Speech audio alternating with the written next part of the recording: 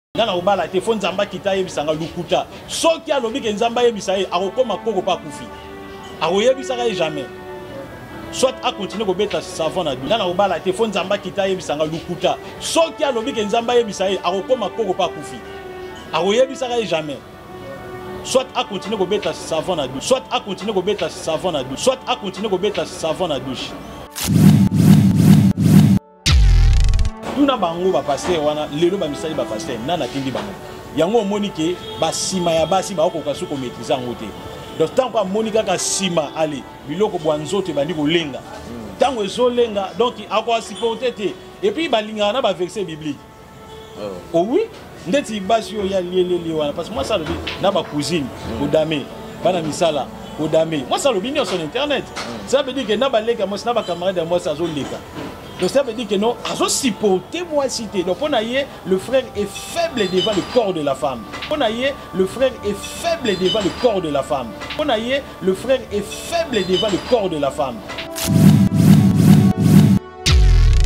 eza impudicité eza kibundumba mpe ezali alliance oyo basala na baforce ya basirene parce que mutu ntango abala te azalaka na sirene sirene nde mutu asala mpasi basirene bapesaka gaz bazali bapesaka succès bazali bapesaka mbongo bapesaka nyonso bazali donc akopesa bacondition te tosala no contrat okobala te tikela nga ata na vivre na yo oui ezalaka eza impudicité eza kibundumba mpe ezali alliance oyo basala na baforce ya basirene parce que mutu ntango abala te azalaka na sirene sirene nde mutu asala mpasi basirene bapesaka gaz bazali bapesaka succès bazali bapesaka mbongo bapesaka nyonso bazali donc akopesa bacondition te tosala no contrat okobala te tikelanga ata na vivre na yo oui ezalaka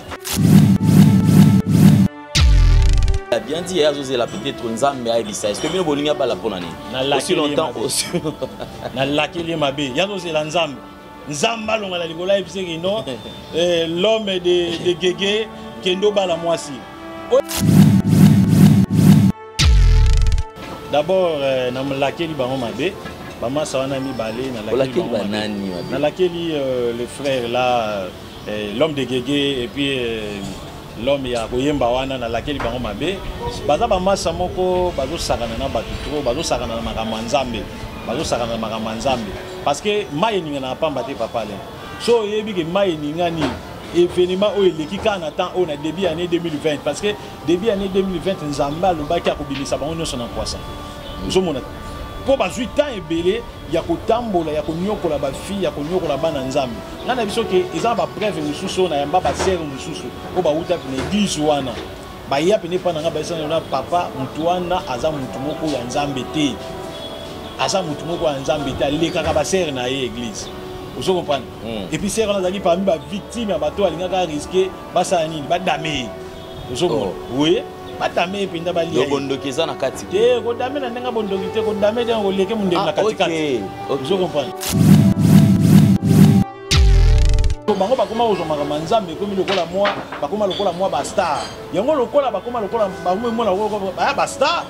nde nzambe alingi siko afinir bango to bango bakoma kozwa makambo ya nzambe ekomi lokola mwa bakoma lokola mwa bastar yango lokola bakoma lokola bango emona baya bastar nde nzambe alingi siko afinir bango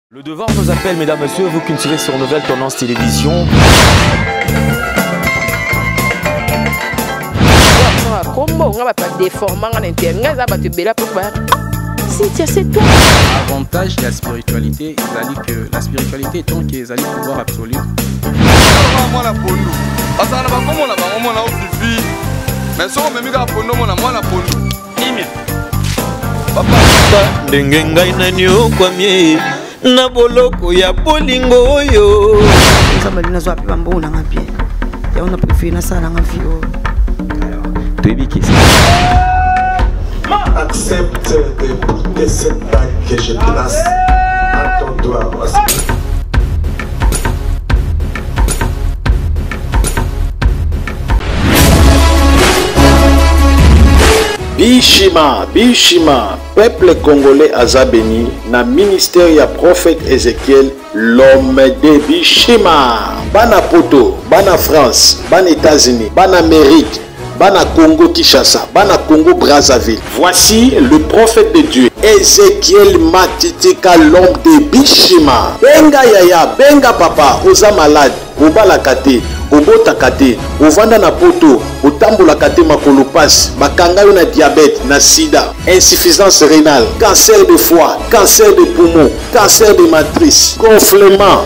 impuissance sexuelle, omela bakisi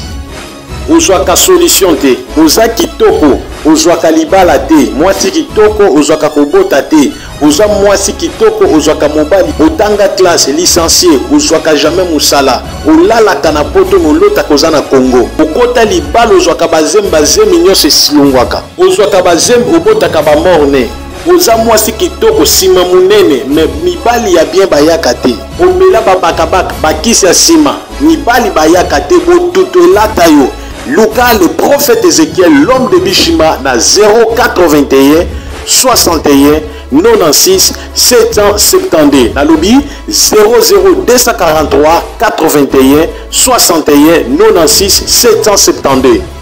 Benga asakola mpo na yo, ayebisa yo oyo nini ekangami na vie na yo mpo obonga te. Bishima, que le Seigneur Jésus-Christ vous bénisse.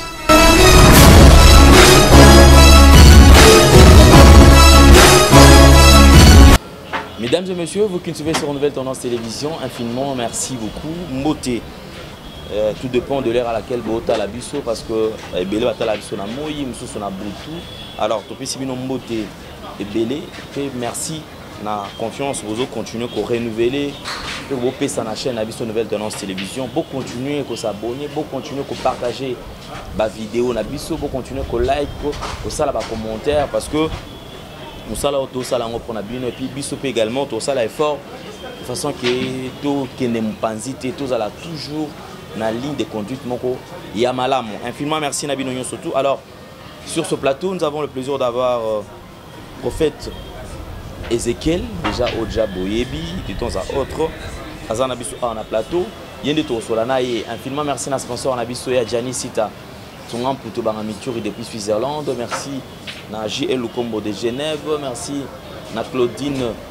Bosau, merci na Mami Mwanda, merci na bandeko nyonso tout véritablement femme d'affaires chouchou na tati la merci ma sœur mpo na nyonso tout osala biso malolo merci également sans oublier tabu fatu top modèle nakokanisa mpe lisusu ange nyangasa acteur ba long métrage ainsi que dadi mavungu alors prophète Ezekiel, bonjour. Bonjour Papa Alain. Santé boni? Oui, santé eza la merveille malgré bitumba ezangaka te. Satana azo continuer kobundisa mais Yesu azosala ça va protection ya Nzambe ezali. Merci beaucoup. Cela est notre souhait à ce que vous allez toujours bien portant pour que Batouba bénéficie na oyo bobimisaka de temps à autre. Alors tokota mwa na kati ya sujet na biso lelo nalingai quand même tolobela to makambo ezoleka lelo na église corps du christ parce que quand même oza libanda na yango te nayebi de temps à autre yo kosalaka baréaction na yo alors nakotala makambo oyo ezoleka na kati ya église tomoni dossier ya ndeko na biso kululu ekomi na suka me tolingaki avant toleka tomeka mpe kosolola prophète ebembe ya pululu ebimaki tomeki kotala ata soki okozala na posala quelque chose rien ebembe eleki tozo comprendre te eloko nini esalami toyoki epareil famille ebengaki yo soki oboyaki tozoyeba te qu'est ce qui se passe en fait meka korelate biso nini elekaki mpo oatteindre objectif to eloko ozalaki nango besoin osala te vraiment euh, na souhaite d'abord mes condoléances na baartiste comédien epuis famille ya, ya ndeko na biso pululu parce que ndeko na biso pululu babomisi ye kobomisa na nko babomisi ye kobomisa na koki koloba parce que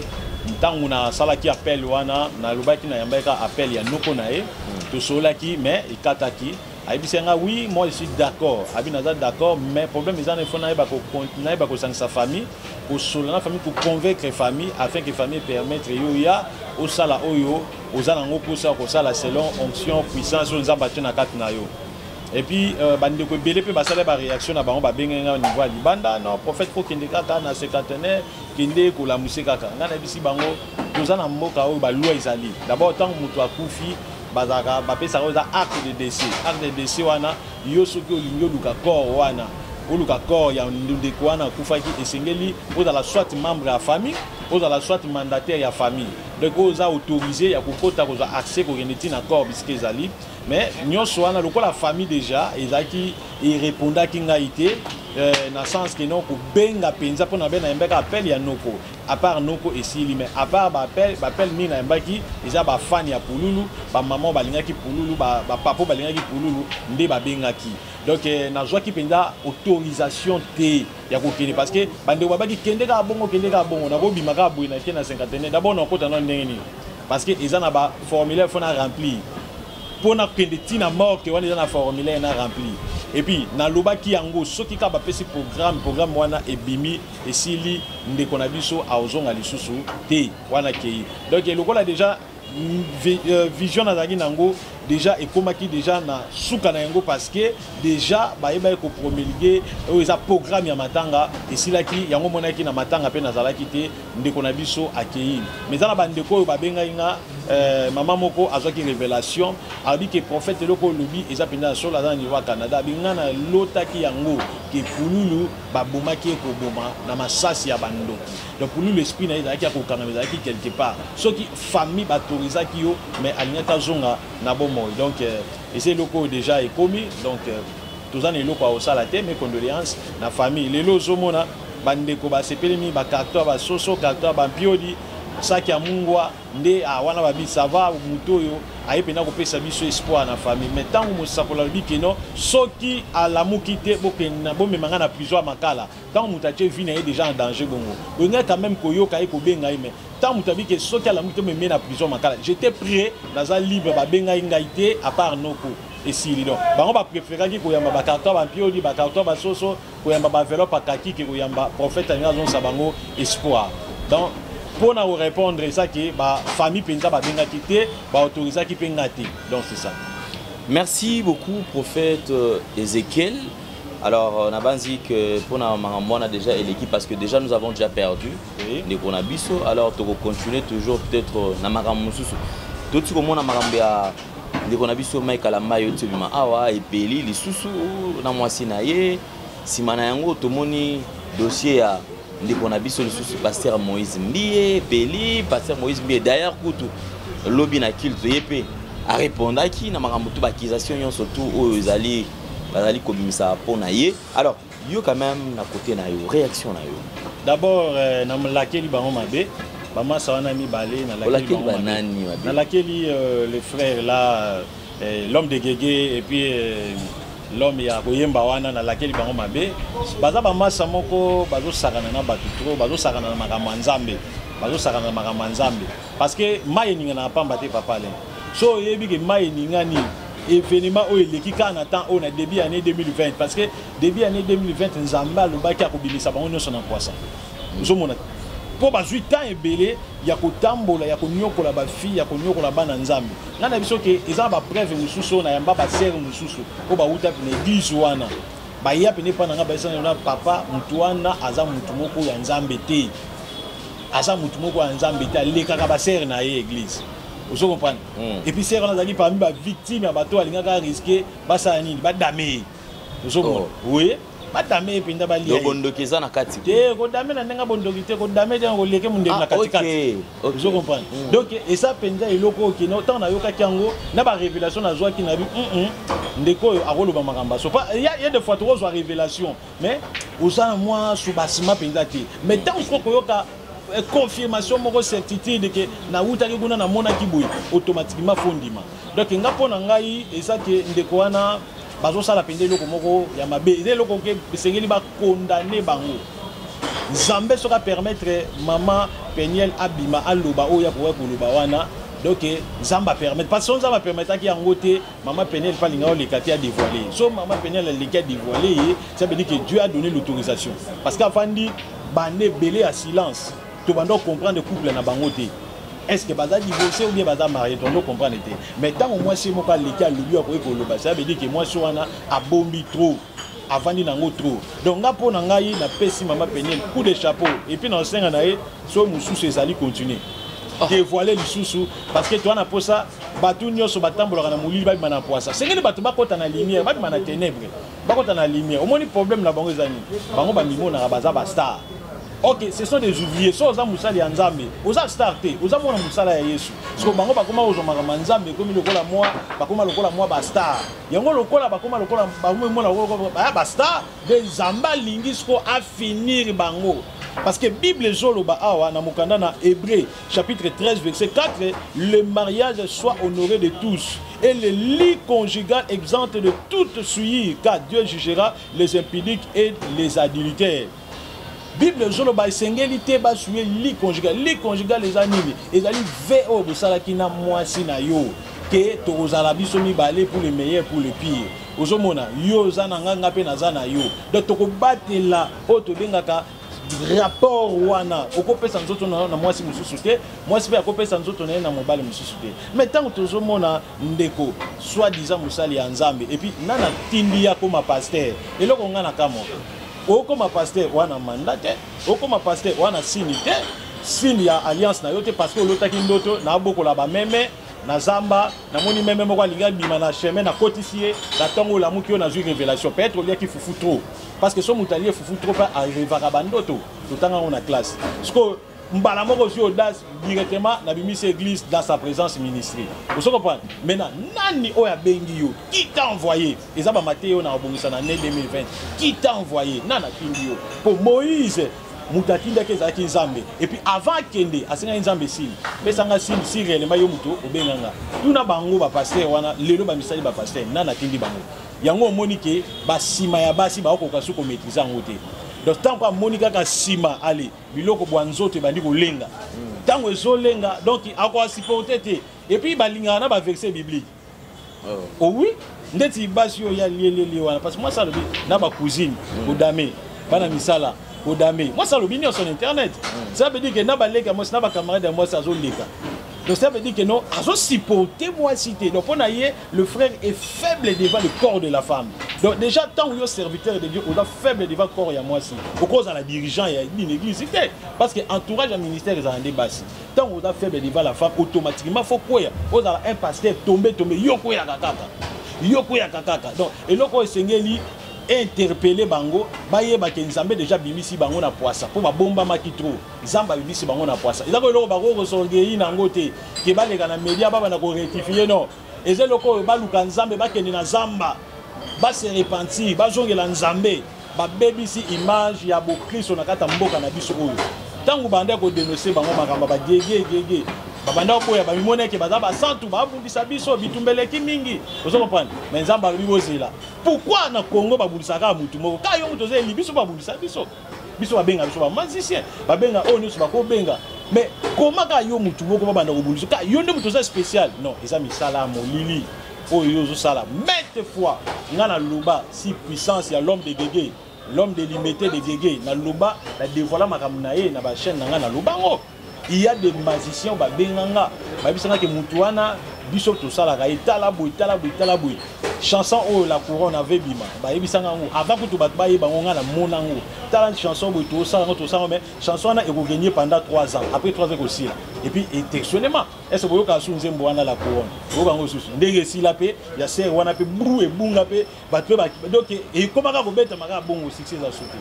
donc cela veut dire que non monde oyo comme la bible dit que le monde est pollué par la puissance du malin donc buya budiabu busatana eza na kati ya mokili ezokodirige bampe subasima balingaka te échec bango balingaka tout moment au récit or dans la vie il y a de haut il y a de bas okoki mpe komata okoki mpe kokita sikoyo bango balingi bongo te bango balingi kaka bazala likolo bazala na top bayemba bango babenga bango bakumisa bango basunga bango yango tozomona tokoya na baka oyo tozokoya oyo parce que mwana mwasi wana aza liboma te epuis ntango kotala mwana mwasi wana ndenge azoloba aza mwana mwasi moko amona na tanga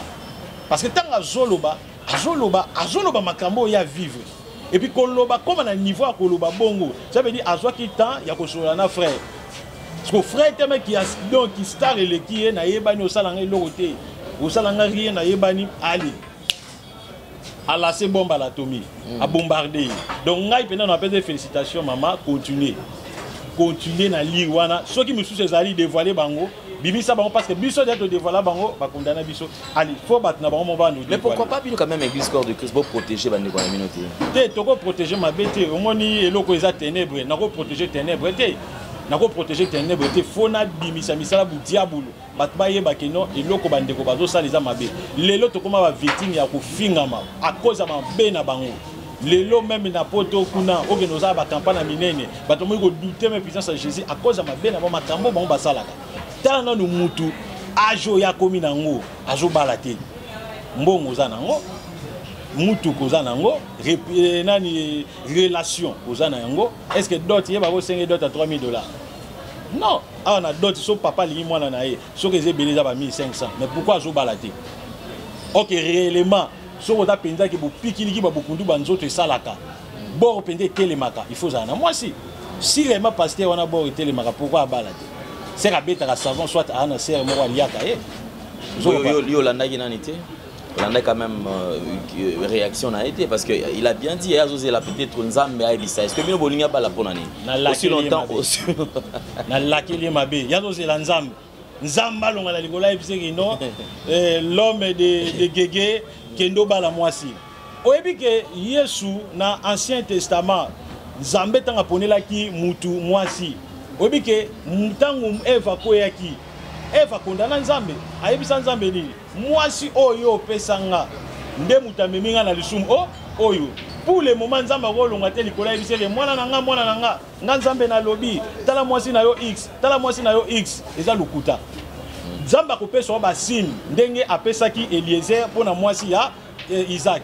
abi tala mwasi oyo komona kokita na soir tala komelisa di chameau tala eza basine apesaki mais ke nzambe atanga nkombo na ye florence ye jamais soki mutu abala mwasi na prophetie abonga avec précision yeba ke non oko regretter un l'un de jour ndenge frère na biso Mike azo regretter ozo comprendre donc nga mpo na nga na koloba ke eza impudicité eza kibundumba mpe ezali alliance oyo basala na baforce ya basirene parce que mutu ntango abala te azalaka na sirene sirene nde mutu asala mpasi basirene bapesaka gaz bazali bapesaka succès bazali bapesaka mbongo bapesaka nyonso bazali donc akopesa bacondition te tosala no contrat okobala te tikela nga ata na vivre na yo oui ezalaka donc taka mutu bible mpe ezoloba mutu oyo esengeli azala pasteur d'abord esengeli azala marie adirige famille na ye ozo comprendre yo oza pasteur soit disant visionnaire mais oza marie te yebisa na so makambo etali rapport sexuel oenseigne bato ndeni mpo oyebi yango te donc so omoni bien aime akoenseigne rapport sexuel seke keke papa liaka ozo comprendre c'est ça l'impudicité bala tomona yo o te ata mokili mbele bike bala bala ngai na kobala te ngai na kobala te fo nzambe akita ayebisa ngai lokuta soki alobi ke nzambe ayebisa ye akokóma koko mpe akufi akoyebisaka ye jamais soit akontinue kobeta savon na douche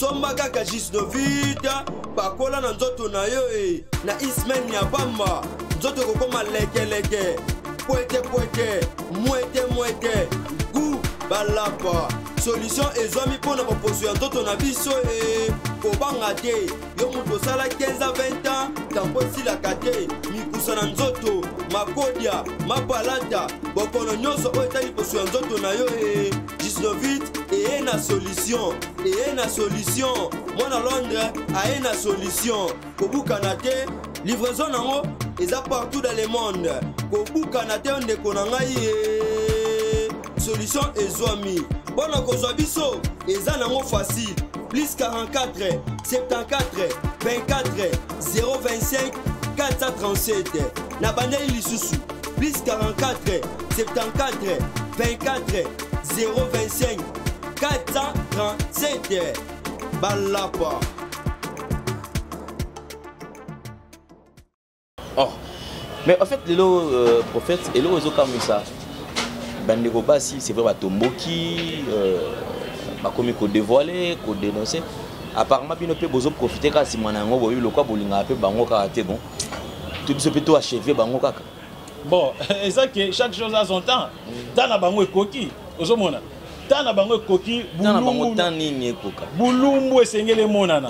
bulumbu ebima na kati ya bilamba donc bamona bango ndenge bazalaka nzambe po bawumeli na congo awa babombami babatami na bachanson na bango ya baémotionnel chanson moko ezanga onction ezanga puissance tala bima chanson bima ozoyoka yango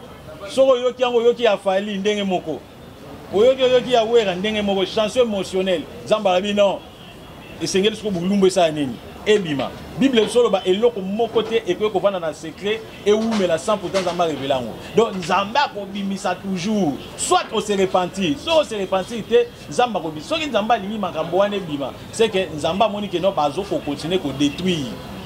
bato wana bazo se décide ke to dévoile baza bamaboma te baza bamaboma te pourquoi ba ba se décider que to dévoiler ozo comprendre donc nga na koyebisa bango ba se repentir ba se repentir baluka nzambe ya solo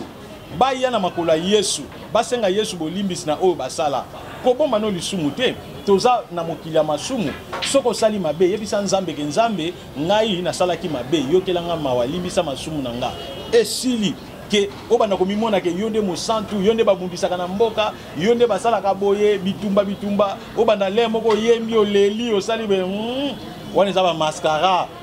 wana eza bamascara nzambe pourkui alingi kaka yo kaka badevoile yo kaka badevoile ça veut dire que non nzambe alembi yo bimisa misala na yo epuis okomona soki kaka bakontinue na hypocrisie dans deux ans oyo okomona ndenge nzambe abanda koacheve bango donc toza na congo okomona ndenge nzambe abanda koacheve bango ano ah, continue kaka na li so bacontinue baboyi kose repentir epuis nzambe obeta bango conseil nini opesa na, na, na ndeko na biso peniel bon conseil ngai nakopesa na ndeko na biso peniel eza kaka ke euh, acontinue kodevoile soki ya mosusu ezali acontinue kodevoile epuis euh, asambela makasi parce que bato wana baza na badimension moko ndako na oyebisa abenga ngai nabondela mpo na ye parce que bato wana baa na biloko moko ya likolo baalliance basala bapacte basala na diabulu ozo comprendre donc acontinue kodévoile asambela aza na se ya protection ya nzambe parce que bazwi toute une vie kogache mwana mwasi ya bato toute une vie ya kodétruire eloko oyo ezalaki na kati na ye parce que ndenge aza wana tokoki mpe koperdre kondima na ye ndenge aza wana akoki mpe odute ke no nzambe azalaka na mokili oyo parce que ye mpo na ye ndenge abandomonela bango ntina ye bavandi baboti yango mona bango baza ba extraterrestre bato mo babanga mpenza nzambe mais ntango adécouvrir comportement na bango hmm, vomi kutu nabala payen ke navanda na bato ozomona donc déjà tokitisi déjà mwa kondima moko quelque part donc mpo na nga acontinue so mosusu ezali aleka na télévision aloba epuis azala protégé bapaster baprotégé na mabondeli babondela mponi parce que bato wana balingaka te basimba bango bakitisa bango donc c'est ça euh, ndeko mwasi tomoni azodevoile déjà pasteur moïse mbie mpo na yo ndeko wana continue mpe kaka bongo parce que ndeko déjà azoto omona ba écrit déjà mpona olobaki ba menace ya ali bazo atake ye kame akoki otika na ye atika likambo wana esuka nango bongo te papa na ngai il faut dévoiler chaque chose à son temps omoni elanga elanga ebotaka ekolaka ekomeli mpe ebimisi mbu mbuma donc ntango tozomona makambo oyo ndenge ekomi ntina niveau boye donc tokotika te esengeli nzambe asala oyo alingi asala donc ndeko wana abanga te adevoile il suffit parce que okobomba lisumu bongo te combien le bato balandaka bato wana il faut sauver ba ame peut-être que bandeko mosusu bakoya bazala victime ya badestruction na bango mpo na koempêche destruction continue il faut okata mbala moko masuwa kata masuwa mbala moko donc moto na moto azwa part na ye ayeba verité na ye adeve tomonaka bato bauti na kibonganga o oh, ngai natambola na lisi fe na boma 6000 personnes me badevoilaka pourquoi ba devoilaka parce que nzambe akutani na ye donc moi je crois que sœur wana nzambe akutani na ye ayebisi eke eloko osalaka na l'homme de dieu eza mabe il faut dévoiler parce que l'homme de dieu wana soki amiyebaki alingaki déjà se repentir na ndeko wana ke non na abizaka na yo vraiment ndeko limbisanga toluka repentance tosalela nzambe tututu totika makambo mais yo continue ozokonte epuis moi ce que je crois ke asali yango kaka na ndeko wana te seka aliaka aliaka na ye aliaka aliaka na ye donc eza biloko na ye aliaka aliaka il y a pas moyen quand même ya ko ya ya ya ko remonter moninga ta moral parce que apparemment bozo telemela ye kaka bozo telemela ye kaka mais bino bozo bosana yo tango ba traitaka au magicien awa okoma pe mawa mawa mais sikoyo na moninga olingi kaka moto epela epela epela bon ngai nakoma mawa soki eloko wana nayebi yango te soki eloko wana nayebi yango donc eh, eza eloko moko na oluka nzambe alimbisa nga mpo peut-être nasalaki eloko moko ya buzoba wana na osenga nzambe bolimbisi nous sommes des chrétiens papa na nga lisumu okogarde lisumu te hein? lisumu okobomba lisumu te so lisumu ezali il faut kobimisa parce que mokili oyo papa le Toza baleki nzela na mokili oyo ndenge eza boye, ata osali nyonso, ata obengani esprit de la mort nyonso, soki Yesu azowumela tokokufa. Mais sikoyo molimo na biso ekokende wapi? Vaut mieux na perdre mbongo ya mokili, bomengo ya mokili, mais na garder Jesus Christ na motema, na gagner royaume des cieux ke nazwa mituka bajipe nyonso nakufi nake nalufelu nake niokuama bisika papi azali ozo comprendre donc mpo na éviter nakende enfer te il faut na se repentir donc bandeko wana ngai nakoloba mpo na ngai nakolinga boye bango ba se repentir nde ba se repentir toko remonter bango morale te parce que soki bazalaki bandimi moko ekolimi la sava parce que baa na bato balanda bango na nsima te mai totala fulu ya bato oyo elandaka bango monde ati alandaka bango combien oyo bamemaka na égarement batémoignage ezali ba témoignage ezali natalaka meme ba témoignage ya ndeko oyo aleka awa ki amona meme place ba réserva déjà l'homme de gege place ne babi ke ye ndenge aza kuna so asisi boulot tala koya na selile oyo place ne yango pourquoi diable abongisela ye place parce que ayebi ke akobongwanaka te aza rabi ozo comprendre donc ntango ndeko mwasi wana atelemi ndeko na nga telema lisusu continue continue kobattre koatake beta ti na suka jusqu'à dernière énergie Jésus-Christ aza wana protéger. Merci beaucoup euh, prophète euh, Ézéchiel. Alors nous allons passer à la deuxième partie. Deuxième partie elle a toujours consacré un temps au topé ça bino pour na tina na ko partager na bandeko bazu occasion ya ya kolanda bino après na suka ndeko yo pesa quand même euh, message na auto conseil na suka. Alors vous avez la parole. Vraiment euh, papa Alain, je pense que euh, prochaine émission toko eza makambo je pense tosoli na yo sur euh, ba langue diabolique tokolobela yango prochaine émission balangue diabolique ba lakabos lakabos lakabos nzembo amina tokolobela yango parce que na nzembo amina eza na balangue diabolique eza na kati tokolobe mpe tokoexplike lakabos eza nini lakabos sikatela sikate tokolobe basikatela nyonso wana na flashe eza balangue moko tobombi yango mpo na prochaine émission donc tokolobela yango hmm. donc c'est ça merci alors euh, quand même euh, deuxième partie ya lelo qu'est ce que vous avez prévu Vraiment, euh, deuxième partie ya lelo eza message oyo Yesu Masiya apesaki nga début ya année euh, le 31 nde Nzambe abimelaki nga euh, namonaki deux anges kotelema ba, batelemi dans bisika ezalaki lumière makasi et puis namonaki kiti kiti wana moto avandaki namonaki ete azalaki vraimen alataki gloire moko ya makasi okosangisa balampe nyonso ya mokili okoka kokompare na lumière namonaki wana te epuis namonaki mongongo ya ange ezoloba boye ke année 2020 eza année ya gloire mpo na moto nyonso ako se repentir akozonga nzela ya nzambe mpe mpo na moto nyonso akosoutenir baevre oyo ezosalama na ndenge oyo nzambe atindi basali na ye na mokili epuis namonaki nzambe koyebisa ngai ke ndenge nalobaki na moïse na akende koyebisa peuple na ngai ke batongela ye sanctuaire epuis ezekiel nayebisi yo yebisa na peuple na ngai nyonso bisika bazali nazopambola bango na ne 2020 oyo epuis na kati ya référence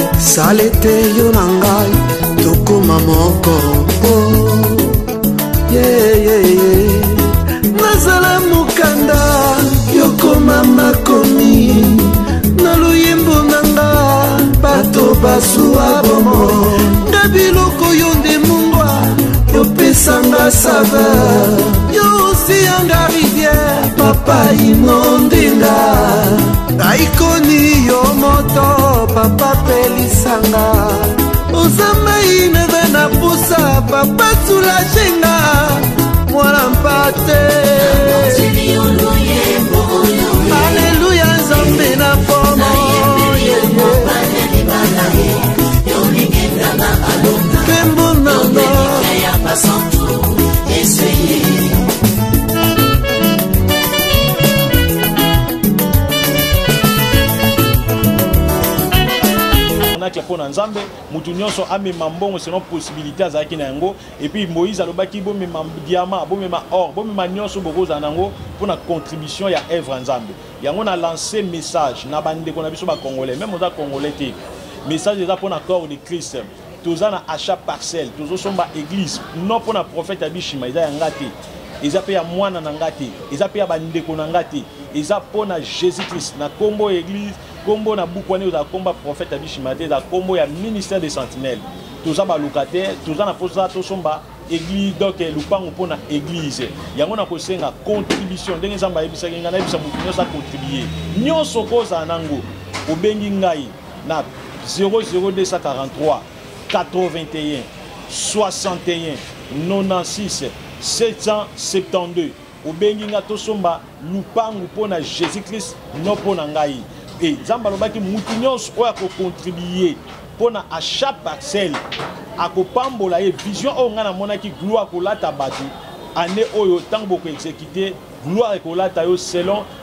courage epuis selon sincérité ya motema na yo ndenge okosala Souvenez-vous na kati ya Bible, ya na bato ebele bapambolama parce que bayoka l'ainsi dit le Seigneur. Lelo ozomona otindi 100 dollars, 200 dollars, 300 dollars na mosali ya Nzambe, soit na nganga moko boye. Omoni nyonso otindaka obeneficiaka te ozwa mapamboli te parce que osalaka makambo eza volonté ya Nzambe te, mais Nzambe apesi message mpo na corps de Christ, ntango ba corps de Christ oza na Congo, Congo Brazzaville, oza na Rwanda, oza na Est partout.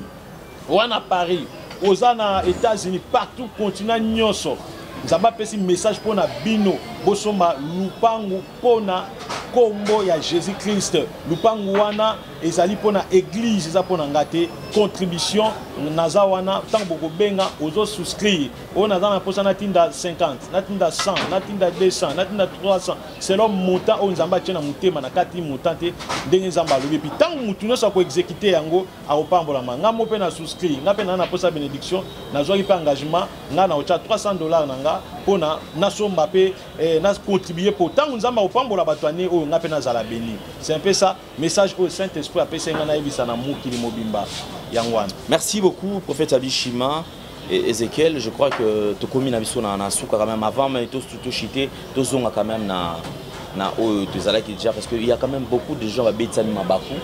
na makambo eti olekana entre ndeko na biso Mike Kalamba ina mwasi na ye pe ndeko na biso Moïse Mbiye, ce sont nos frères. Je crois que nous devons aussi leur protéger. Alors, message nini relancer na batu tout bazui choc parce que c'est que vrai, ils ont monté sur thème de Maboko, ils ont fait na batu oyo baza vraiment touché baza na esengo ata moke te message nini okolanse na bango vraiment message oyo ngai nakolanse na bango eza ke boyeba eloko moko ntango tokendaka na mai ya bateme tozwaka engagement tozalaka biso moko na, na jésus christ ntango tosalaka ve ke nandimi yesu lokola mokonzi mpe mobikisi jusqu'à ma mort donc tozwaka bateme wana tosalaka ve wana tozalaka biso moko na nzambe donc l'alliance ezalaka personnelle yo ozwi bateme olanda yesu oza yo moko meme ndeko ayaki liboso na yo Po nzela ya Nzambe eza mulayi, ba misusu bako kweya ba tikali. Yo oko linga te ke o te lokola ye a kweyi, nga na zalaki ko landa azalaki exemplaire na nga lokola a kweyaki nga pe moyen na continuer eza te parce que a tutisi nga mabaku non le salut est individuel devant bigfication na prejugement tango bako sambisa ba armes mutu na mutu akoleka selon misala na ye yango nazobisa mutu nyonso azolanda nga makambo oyo bomoni etutisi bino mabaku bodecourage te bofinga jésus te bofinga basali mpe ya nzambe te oyo bokonsideraka bopesa bango encore confiance bosalela jésus christ bozali kondima non parce que motu wana akwei non bozondima parce que vous aimez jésus christ l'amour de jésus christ est dans vos âmes bolingi jésus christ nde mpo nga moto apengwa meme paster na nga soki apengwi lelo etali nga te so pasteur na nga penguis mpo na ndima nazwa bateme na ndima kosala jésus christ non parce que eh, batindaki nga non nayokaki me ngai mo nazwi décision donc le sali est individuel oyo nakoyebisa na bato nyonso bodécourage te bokontinue kosalela jésus christ parce que Jesus Christ aza meilleur ami yango omonaki le prophète Esaïe Nzambe akonfondaki mpo abandaki koimite Akab amonaki Akab aza mosantu me ntango akendaki na lola Nzambe ayebisa bi oza impire tala moto oyo ozokoimite atali boye amoni Akab azovivre mabe epuis prophète Esaïe alelaki yango omoni ndeko oyo ozolanda nga koimite ndeko paster te prophète te yo olanda oyo jésus christ azosola na yo esili merci beaucoup prophète ézéchiel alors euh, nous sommes arrivés pratiquement à la fin retrouvez prophète ézéchiel à travers ce numéro qui est affiché au bas de vos petits écrans suggestions remarques vous pouvez le écrire à tout moment c'est vrai qu'il décroche elle ye moyen baba téléphone na ye bobenga ye kuna ceux qui ont besoin de contribuer aussi